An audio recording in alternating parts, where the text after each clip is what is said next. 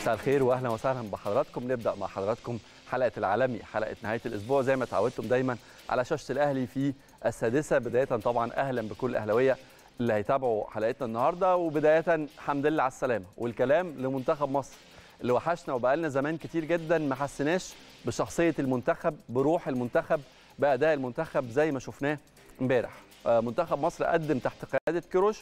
كيروش ماتشات كتيرة جدا منها ماتشات رسمية زي مثلا ماتش ليبيا في تصفيات كأس العالم خارج الأرض قدم عرض قوي قدم عرض مميز وكسب بثلاث أهداف قدم مباراة قوية كمان قدام السودان في نفس البطولة اللي لعبنا فيها قدام الجزائر وقدمنا عرض قوي جدا فزنا فيه بخمس أهداف. لكن الحقيقة وإن كان الحقيقة المباراة انتهت بالتعادل لكن الحقيقة بشوفها واحدة من أقوى إن لم تكن بالفعل أقوى مباراة لمنتخب مصر على مدار فترات طويلة جدا. مش فاكر إمتى ظهرنا بالروح دي وبالشخصية دي وبالأداء ده في الملعب تحيه لكل نجومنا الحقيقة. يعني هو بداية لا مجال على انتقادات في ظروف زي دي ما تقدرش تنتقد رغم إنه ممكن يكون في بعض الحاجات اللي محتاجين نتكلم فيها لكن الحقيقة يمكن أهم مكسب قبل ما يكون الصدارة وقبل ما يكون آه إنه المنتخب بيكشر عن أنيابه بالشكل ده ويقول أنا جاي فعلا أنافس على البطولة أنا بيتهيألي إنه أهم مكاسب إمبارح هي عودة الروح. ونتمنى نتمنى نتمنى الأداء ده والاداء ده والروح دي لو ظهرت في منتخب مصر محدش هيكلمكم ابدا عن نتائج. والأداء ده والروح دي لو ظهرت في ماتشات منتخب مصر ثق تماما إنك أنت تقدر. كنت بقى بتكلم على الخمسة الكبار في أفريقيا ولا يفرق معانا.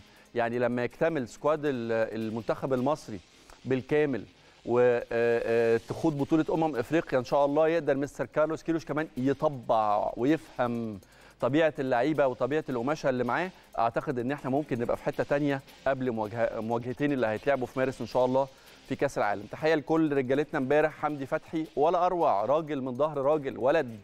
الحقيقة قدم مباراة كبيرة جدا. السولية أكرم توفيق الونش مصطفى فتحي حسين فيصل. مش عايز أنسى حد الحقيقة.